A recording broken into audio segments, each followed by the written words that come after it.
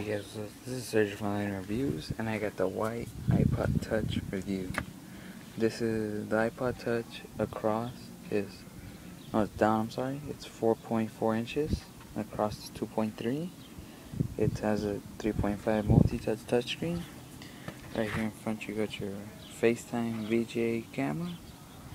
In the back you got your your main camera. Got your noise cancelling on the bottom, you get your 30 pin dock charging station. You get your speaker. You get your 3.5 millimeter headset jack. Uh, That's normal, as like any other iPod. And you get your volume controls. That's your power and sleep button.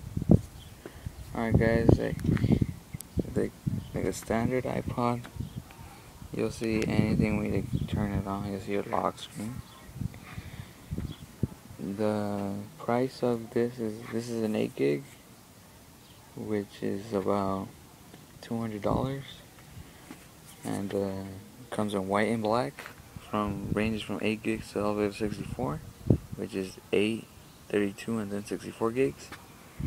If you guys are interested go ahead and buy some and soon I'll be posting a video on how to change the screen on an iPod Touch.